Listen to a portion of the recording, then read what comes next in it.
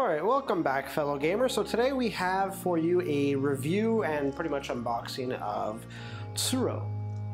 The T is kind of silent, but I don't know. and what it is, it, it dubs itself the game of the path. And uh, let's open it up and then I'll show you how to play.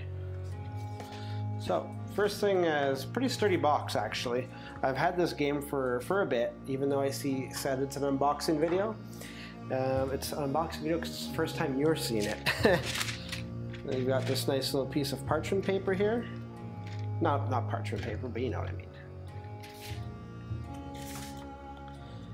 And here you have the rule book in Spanish and other languages.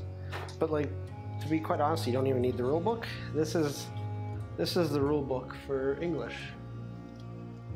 And uh, it's pretty straightforward. The game is, is pretty straightforward. This is the board. You then have the cards here. Whoopsie. And then you got this card. I actually don't know what this means. so it just gets put in there.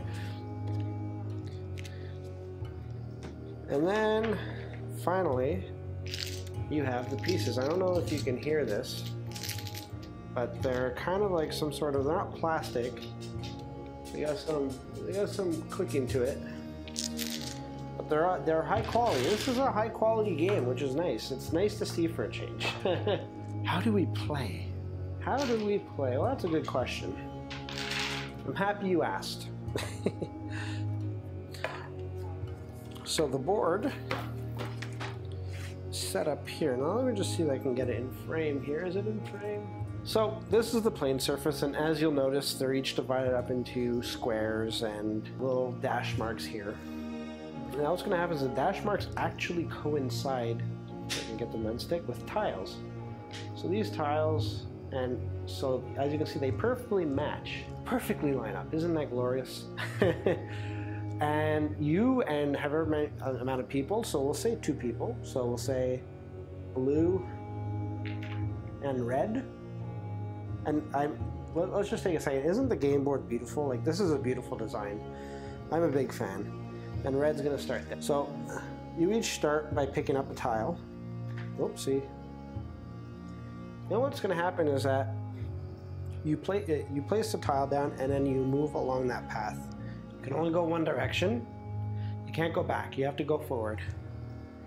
And then, so this person will have moved up to here. So the next person goes and takes his tile and sees, okay, well, it's got like, you know, looks a bit like spaghetti, but hey, hey, we can make this work, right? So if you were to put it like this, he follows the path right off the board. And that means he is eliminated. So the idea here is to not get eliminated. Just like MXC, right? Don't get eliminated. So you go up here, you're good person here. And, and honestly, it just continues on and on.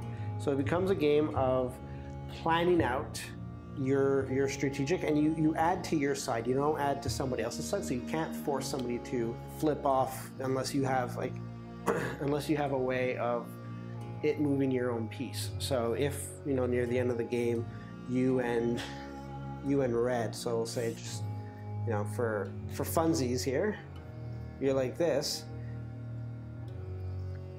you, you would be able to put this here so that you can continue and blue would be forced to continue onwards as well. If I had a piece that would have shot him off, well then he loses the game. So it becomes a game of survival and who can stay on the board longest.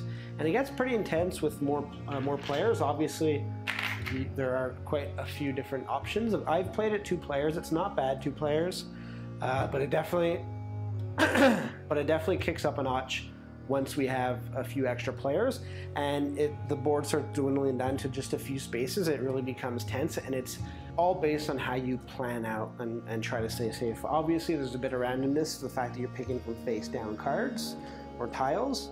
But aside from that, like if, if you try to keep yourself away from the edges and out of danger, you'll be good to go. But everybody else is doing that too, so it becomes a, a battle of wits. The game plays, as I mentioned, anywhere from two to eight players, and it takes from 15 to 20 minutes to play a game, sometimes shorter. I've done games in about eight or nine minutes, and that's fairly regular once you get players who kind of speed up their, their returns and they don't take too long. It's it's a great light game. Again, just like a few of the other videos that I've or games that I've reviewed on my channel. If you're looking to get somebody into gaming, you can try with this. It offers a bit of strategy, but not enough that you get analysis paralysis, right? Uh, games move quickly, so really, if you want somebody to get into gaming, this is another option for you. Or if you yourself want something that's a bit lighter and fair, you don't want to play a game that takes several hours and you're you're showing a few gray hairs at the end of it, this is a game to definitely play to lighten the mood. Uh, I'd like to know your opinion. Have you played this game, or does this game look interesting to you? And if not, what about it doesn't look interesting? And, and conversely, what does look interesting to you? I'd, I would really like to know. Thanks for watching. Now don't forget to like and subscribe. It really helps the channel out. If you'd like to see more, click on one of the two videos that are there, or click on show more in the description below to see when and what we upload, as well as when we stream. And if you need an update on what exactly we're going to be streaming that week, don't be shy to hit us up in the comments or reach out to us on Twitter. We'll be more than happy to chat. Until next time, good gaming.